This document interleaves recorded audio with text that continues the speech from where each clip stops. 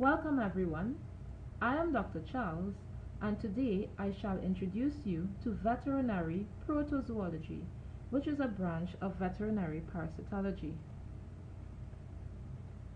By the end of the session, you should be able to define protozoa and protozoology, recall their stages, how they feed and reproduce, classify the major subphyla and classes of protozoa that parasitize animals based on locomotion, and give named examples of parasitic protozoa from each class mentioned. So what are protozoa then? Originated from Greek terminology, proto meaning first and zoa meaning animals, they were thought to be the first animals. They are microscopic, single-celled, eukaryotic organisms. So now we know what protozoa are. Then what is protozoology? This is the study of protozoa. And in this lesson, we shall be looking at the parasitic protozoa. Most protozoa possess two stages, the trophozoite stage and the cyst stage. In the trophozoite stage, we can see that this is the growing, feeding, and motile stage, whereas the cyst stage is the infective stage. The cyst stage is protected from the harsh environment by a tough capsule. Protozoa feed by ingesting organic material in solid or liquid form.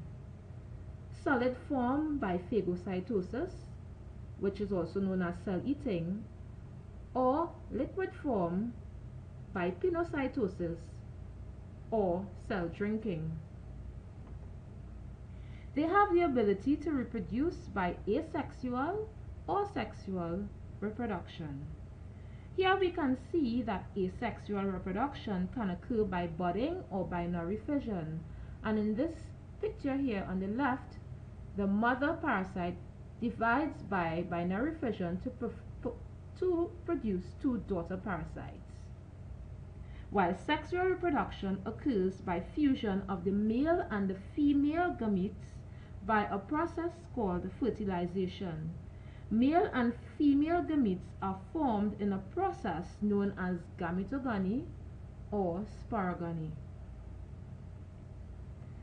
Some protozoa possess very complex life cycles with both sexual and asexual stages in different hosts, while others require only one host. Protozoa have been traditionally classified based on morphology and means of locomotion. Today we shall focus on locomotion. And here is a picture showing some of the well-known protozoan parasites that we may see in animals and humans. Methods of locomotion include the use of flagella, cilia, pseudopodia, and gliding. We shall Look a bit closer at each method. So the first method, flagella, which is plural, and flagellum, singular. Flagella are long hairs that arise from a basal body. They may be single or several, as can be seen in this parasite on the right of the screen. Examples are of parasites with flagella are Giardia, Leishmania, Histomonas, and Trichomonas. Cilia, however, are fine, short hairs that cover most of the body surface of the parasite and usually beat in unison to facilitate locomotion and we can see it in the parasite here on the right of the screen and this parasite is Balantidium. Pseudopodia or false feet is the third form of locomotion. An example is the amoeboid parasite Entamoeba. Here we can see the finger-like projections accessing food for this parasite. And lastly, gliding. It does not involve any structures for movement. And here we can see a parasite in a white blood cell of an animal.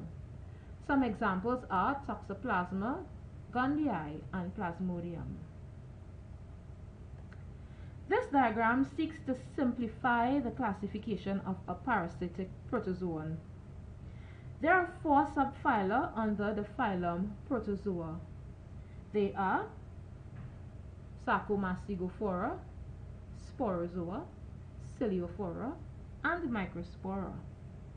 The Sarcomastigophora is divided into two classes, Sarcodina and Mastigophora, while Sporozoa is divided into three classes, Coccidia, Piroplasmidia, and Hemosporidia.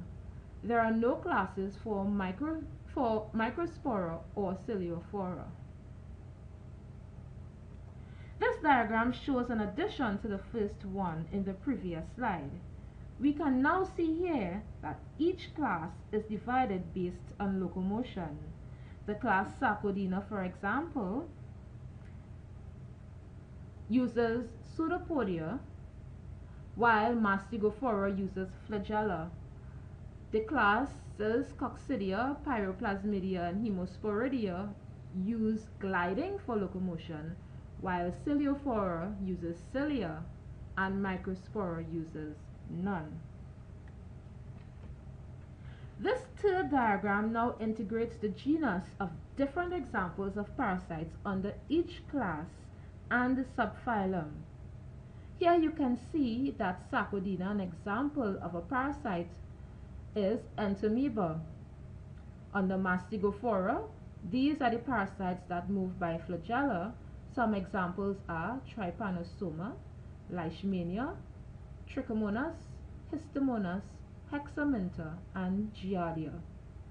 Some examples of coccidian parasites are Eimeria, Isospora, Cryptosporidium, Toxoplasma, Neospora, just to name a few.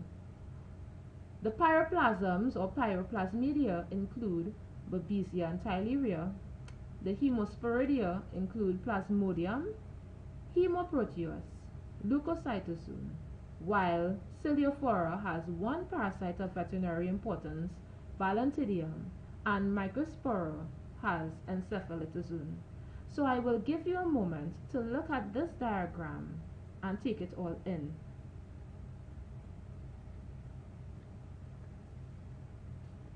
Remember, the Sarcodina parasites, they move by amoeba or by amoeboid movement or pseudopodia. The Mastigophora, they move by flagella. Coccidia, Piroplasmidia, Hemosporidia move by gliding Ciliophora moves by cilia and Microspora does not move. This brings us to the end of the session. So by now, you should be able to define protozoa and protozoology, recall their stages, how they feed and reproduce, classify the major subphyla and classes of protozoa that parasitize animals based on locomotion, and lastly, give named examples of parasitic protozoa from each class mentioned. You can get further reading by looking at my lecture notes on my e-learning and have also placed a link that you can also access. If you have any questions, please feel free to contact me. I thank you.